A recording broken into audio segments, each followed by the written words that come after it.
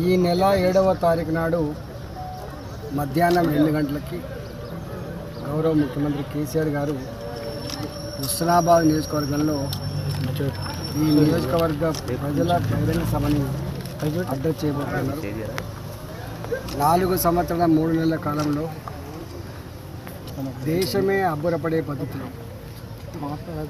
అన్ని రాష్ట్రాలకు కనువిప్పు కలిగే పద్ధతిలో తెలంగాణ రాష్ట్రంలో ప్రజా సంక్షేమాన్ని అమలు చేసి ప్రజల ప్రేమను పొంది ప్రజల మద్దతును కూడగట్టి మరోసారి ప్రజల ఆశీర్వాదం కోసం ప్రజల మద్దతు కోసం యాభై రోజుల కాలంలో రోజుకు రెండు నియోజకవర్గాలు చొప్పున వంద సభలని అడ్డా చేసినటువంటి తొలి సమావేశం తొలి బహిరంగ సభ హుస్నాబాద్కు దక్కడం మా అందరికి కూడా శుభసూచకంగా మేము భావిస్తా ఉన్నాం. గౌరవ ముఖ్యమంత్రి గారు ఏ గొప్ప కార్యాన్ని నిర్వహించిన కార్యక్రమాన్ని మొదలుపెట్టినా కరీంనగర్ జిల్లాలో మొదలు పెడితే అది విజయ తీరాన్ని ముద్దాడుతుంది అది గమ్యాన్ని చేరుతుంది అనేటువంటి విశ్వాసం ఉన్నది కాబట్టి ఇవాళ మ- ఇవాళ మరోసారి ప్రజల ఆశీర్వాదం కోసం ప్రజల మద్దతు కోసం ఇవాళ బయలుదేరేటువంటి మొట్టమొదటి ఈ హుస్నాబాద్ నియోజకవర్గంలో జరిగే సభకు వేలాదిగా ఏ గ్రామానికి ఆ గ్రామం ఏ ఇంటికి ఆ ఇల్లు ఎవరికి వాళ్ళుగా ప్రభంజనంలో తల్లి తల్లి రావాలని చెప్పి మేము విజ్ఞప్తి చేస్తున్నాం.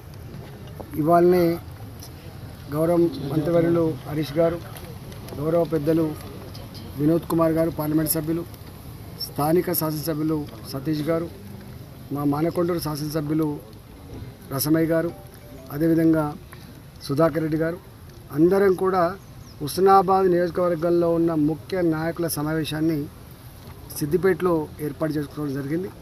ఎందుకంటే టూ డేస్ టైం ఉంది. ఇవాళ ఫోర్త్ ఫిఫ్త్ అండ్ సిక్స్త్ రెండే రోజులు టైం ఉంది కాబట్టి రేపు ఈ నియోజకవర్గంలో ఉన్న ఏడు మండలాలకి ఏడు మండలాలకి రేపు ఉదయం పది గంటలకు కార్యకర్తల సమావేశాలు కూడా నిర్వహించుకుంటున్నాం. ఏ మండలానికి ఆ మండలం?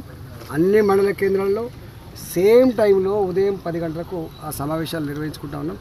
ఇవాళ ఇక్కడ హుస్నాబాద్ కేంద్రానికి హుస్నాబాద్ పట్టణం కావచ్చు హుస్నాబాద్ మండలం కావచ్చు ఇక్కడ గౌరవ పార్లమెంట్ సభ్యులు వినోద్ గారు అదేవిధంగా సతీష్ గారు ఎమ్మెల్సీ సుధాకర్ గారు ఇక్కడ ఉంటారు. ఇలా కోవిడ నియోజకవర్గానికి గౌరవనీయులు రసమయ్య గారు అదేవిధంగా చిగురుమామిడి మండలానికి గంగల కమలాకర్ గారు ఇవాళ భీమదేవరపల్లి మండలానికి గౌరవనీయులు పుట్ట మధు గారు ఎలకతుర్తి మండలానికి గౌరవనీయులు విద్యాసాగర్ రావు గారు సైదాపూర్ మండలానికి నేను. ఏ మండలానికి ఆ మండలం బాధ్యత తీసుకొని మనం పనిచేస్తున్నాం. ఇవాళ ఉస్నాబాద్ ఉస్నాబాద్ కానీ అక్కన్నపేట కానీ కోయడ కానీ ఇవి మూడు మండలాలు సిద్దిపేట జిల్లాలో ఉంటాయి. అదేవిధంగా రెండు మండలాలేమో వరంగల్ జిల్లాలో ఉంటాయి. రెండు మండలాలేమో ఇవాళ కరీంనగర్లో ఉంటాయి.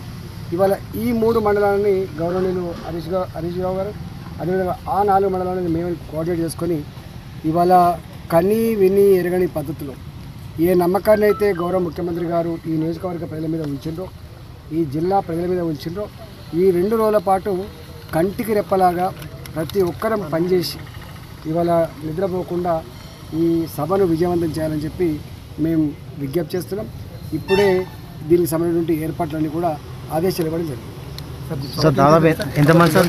సభకి ఎంతమంది ఎంతమంది ఎక్స్పెక్ట్ సభకు పేరు ఇది ఇది ఈ సభకు పేరు ప్రజల ఆశీర్వాదం.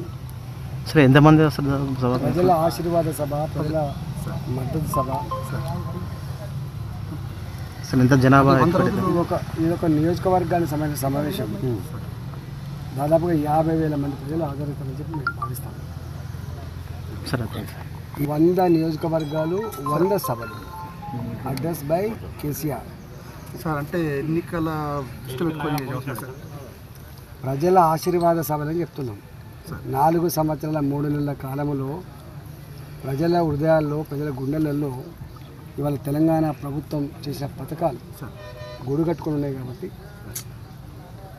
గౌరవ ముఖ్యమంత్రి గారిని తెలంగాణ రాష్ట్ర ప్రభుత్వాన్ని ఆశీర్వదించేటువంటి నివేదన పెట్టి చేస్తారు మళ్ళీ